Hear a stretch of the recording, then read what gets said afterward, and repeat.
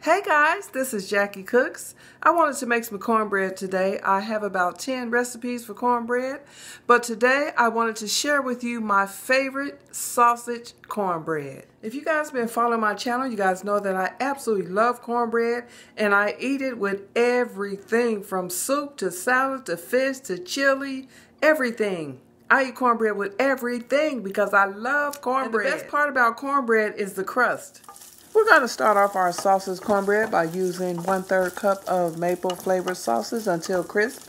You can use any kind of sausage you want, spicy Italian, sweet Italian sausage, turkey sausage. We're going to put our cast iron skillet in our preheated oven so that we can make the perfect crust.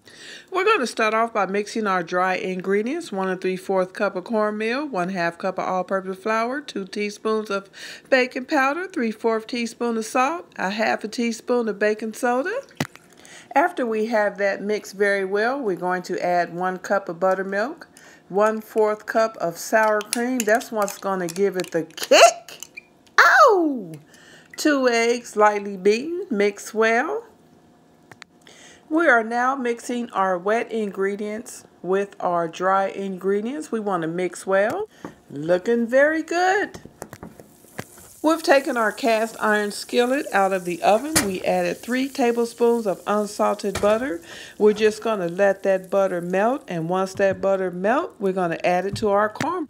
We're going to add in one third cup of that sausage that we sauteed. Now it's time to pour that cornbread in that cast iron skillet. We're just going to cook that for 20 minutes. Ow! Okay, and it's ready, guys. I just wanted to show you this crispy, crackly crust because I believe the crust is the best part of the cornbread. Oh my God. This cornbread was so delicious, guys. So good. It was so good I had to put my fork down and use my fingers. Food tastes good when you use your fingers. Oh, it was so good, good, good. Try this recipe and let me know. Leave me a comment. Thank you very much for watching and I'll see you in my next video. I thank you for all your support.